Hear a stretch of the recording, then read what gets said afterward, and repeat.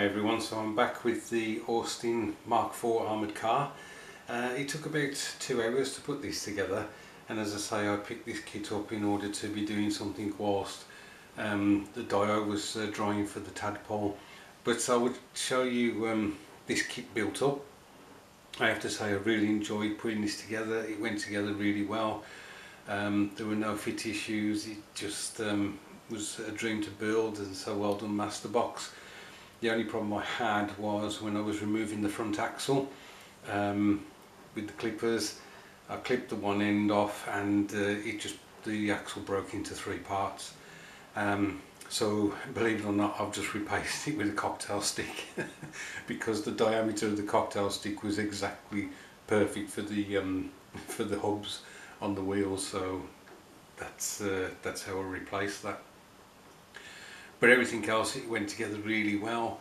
Um, and I would certainly buy this again in order to make another variant um, perhaps one with the armoured wheels at the back the solid wheels. Um, I noticed in the box that you could do a different um, setup for the machine guns.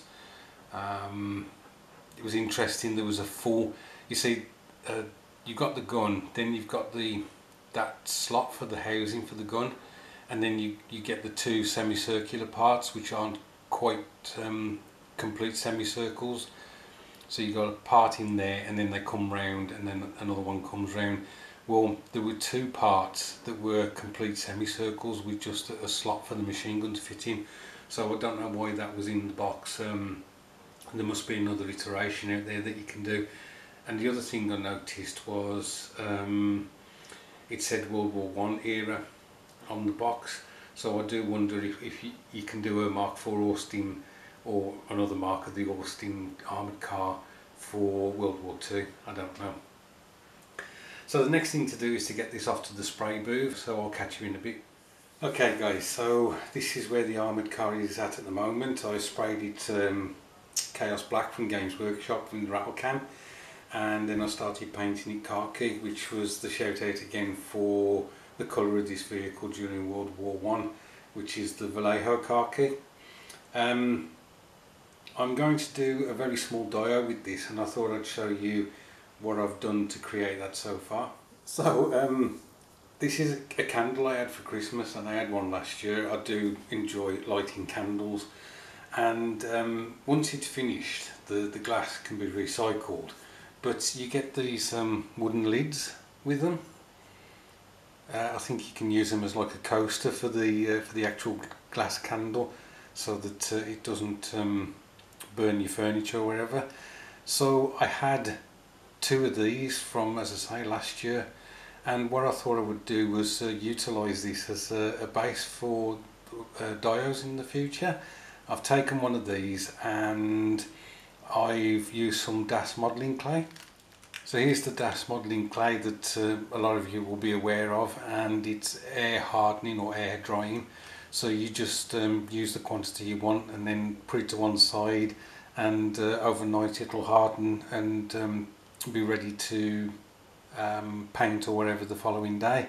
So I've combined this with the base or the, the lid that I just showed you and I've produced this.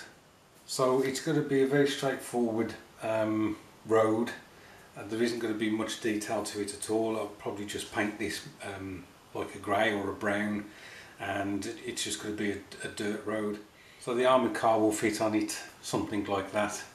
Um, I may put a verge at the front here or something. Obviously I've got to do a bit of work filling in where the DAS didn't quite cover. Um, it started coming away from the um, from this wooden lid actually. I should have um, scored the lid a bit perhaps to get it to adhere better but I may just use some Tamiya filler in those sections. On the front here I'm going to use one of the 172nd scale figures from MHA. So this is the figure I'm going to use. As you can see he looks like an officer. Um, he's got a map and he's got uh, binoculars. Um, all I did was um, cleaned him up and then I uh, brushed him Corvus black and then what I've done at the moment is um, just dry brush the English uniform from Vallejo over him. Um, I might try something different with this where you see the dry brushing has picked up the um, higher areas of his uniform I may just go in now and paint um, English uniform on those highlighted areas and leave the Corvus black in the recesses rather than doing the wash like I usually do and see if that works any uh, any better obviously I've got to put the um, what is it Cadian flesh tone on the hands knees and face uh, and then there's some other colours that I've got to add to pick out some of the other details like perhaps brown for the belt, brown for the boots. I'm not sure what colour the socks would be um, and there'll be a leather strap that's going over his shoulder for his holster I think. Uh, binoculars will be black I would assume.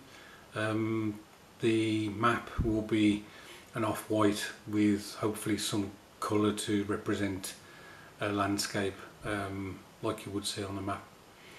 So him um, and the, the armoured car will all that will be on that uh, base that I've just shown you. I think I'll leave it at that for this video. Um, the next one, because I want to crack on with this build, will probably be the finale. Um, I shan't show doing the sludge wash again on this. You've you've seen that on the. Um, I can't remember what I did it on there. Um, oh, I did it on the M19, then on the Matchbox M19. I shan't show doing the uh, sludge wash. I shall just crack on with this build now. Thanks ever so much for watching. I hope your week is going well, and I'll catch up with you soon.